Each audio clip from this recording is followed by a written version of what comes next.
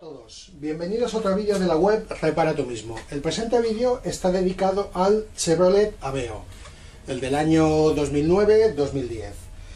Es otro de los pequeños mantenimientos que se le pueden realizar al vehículo y es el ajuste de los faros.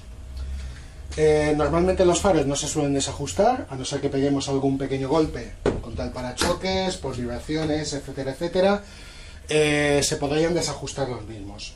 El desajuste lo que hace es que uno de los faros apunta, eh, por ejemplo, más alto que el otro, o apunta más desviado, por ejemplo, más desviado hacia la izquierda o hacia la derecha. O sea, no están los dos parejos. Este pequeño ajuste lo podemos hacer colocando el coche contra una pared, más o menos a unos 10 metros de separación de la pared. Ponemos los focos en marcha, las luces, encenderemos las luces del vehículo y comprobando el reflejo que producen las luces en una pared que tengamos enfrente, ya digo que sobre unos 10 metros aproximadamente, podemos comprobar si realmente está enfocando correctamente o no está enfocando correctamente.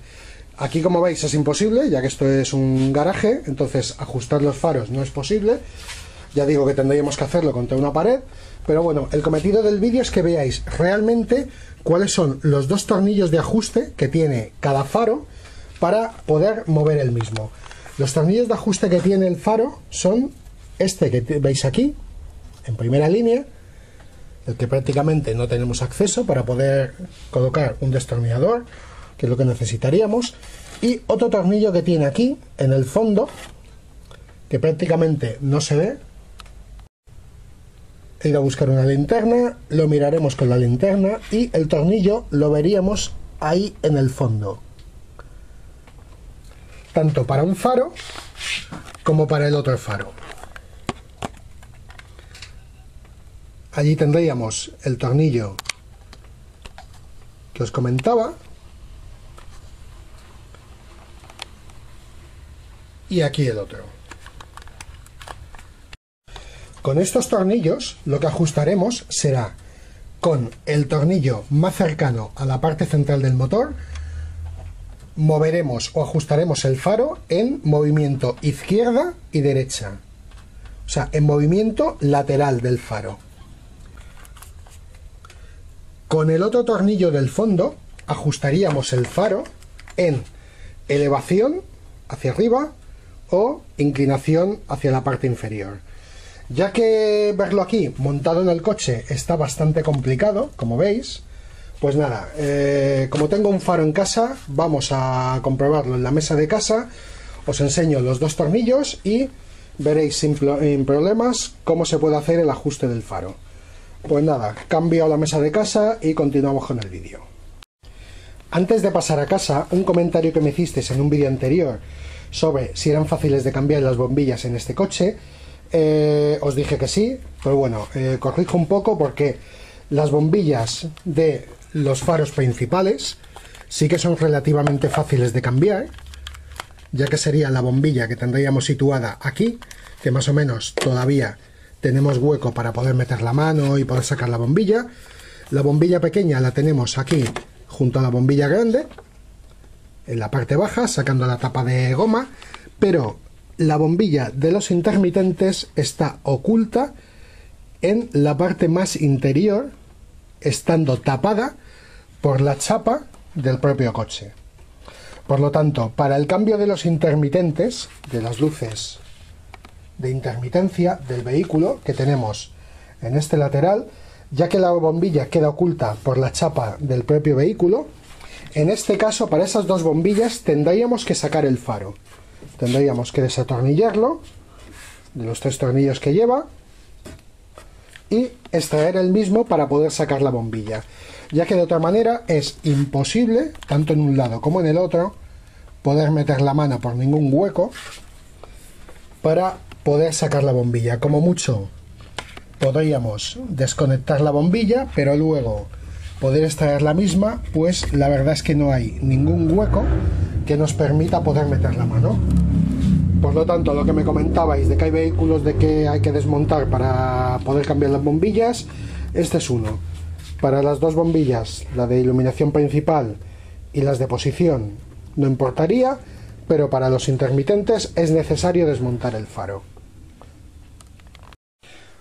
Una vez visto en el coche el tema de los ajustes de los dos faros, he montado un faro que tengo viejo en casa, que se quitó del coche porque estaba roto, y vamos a ver cómo sería el ajuste con los dos tornillos que lleva el faro para el ajuste superior e inferior y el ajuste lateral. He colocado una regla en la pared del fondo para que veáis la señal emitida por el faro, o sea, la luz, y que veamos cómo la misma se mueve. Coloco la cámara en su trípode y comenzamos la prueba. He puesto una batería de 12 voltios para alimentar la lámpara del faro y que podamos tener luz. Encenderemos lo primero la bombilla del faro con las luces de cruce. Ya dedicaré otro vídeo a que veáis el tipo de bombilla que lleva este faro, que son de las bombillas halógenas, que cambia eh, el conexionado con las bombillas antiguas. Como veis, tenemos la señal producida por el faro enrasada entre las dos reglas que he colocado en la pared y vamos a variar la altura del faro con el tornillo del lado derecho. Como veis, el margen de luz ha descendido y ahora procedemos a girar a la derecha para subir nuevamente el margen de luz.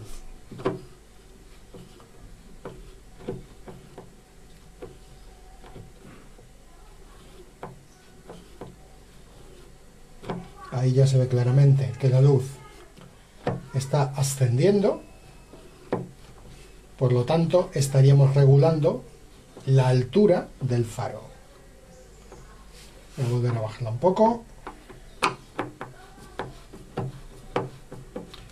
La dejo ahí y ajustaremos con el otro tornillo la desviación lateral del faro. Así lo llevaríamos hacia el lado derecho. Y girando al revés, lo llevaríamos hacia el lado izquierdo, es decir, centraríamos al centro del morro del coche los dos faros.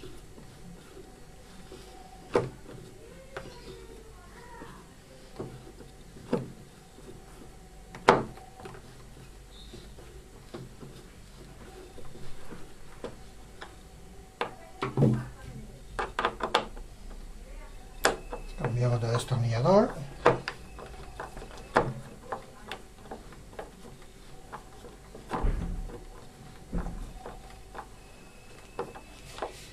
Y ahí ya vemos como la luz empieza a cruzar el regla vertical. Es decir, se está centrando hacia el lado izquierdo. Giraríamos a derechas para mover la luz hacia la izquierda y giraríamos a izquierda en sentido contrario de las agujas del reloj para mover la luz hacia el lado derecho. Va justo al contrario que las agujas del reloj. Como veis, estas son las utilidades que tienen los dos tornillos que lleva el faro en la parte superior para el ajuste del mismo.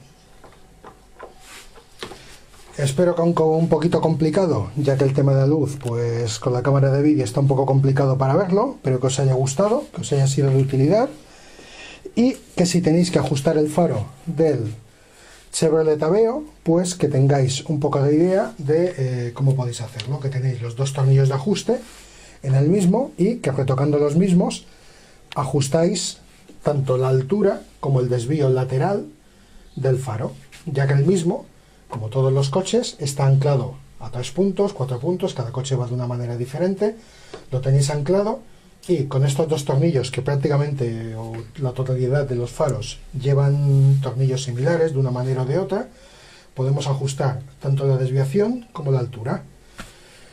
Lo de siempre, un saludo, espero que os haya gustado el vídeo y que sigáis visitando la página web y los vídeos para tú mismo.